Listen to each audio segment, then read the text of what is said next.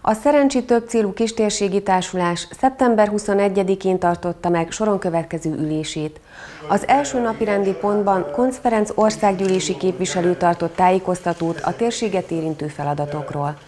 Az ülésen szóba került a 37-es számú főút négy sávosítása is.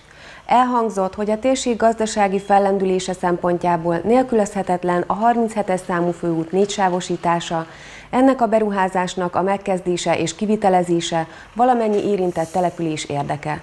Az országgyűlési képviselő a térség polgármestereivel együtt elhatározta, hogy levelet írnak a miniszterelnöknek annak érdekében, hogy felgyorsuljanak a főút négysávosításának előkészületi munkálatai.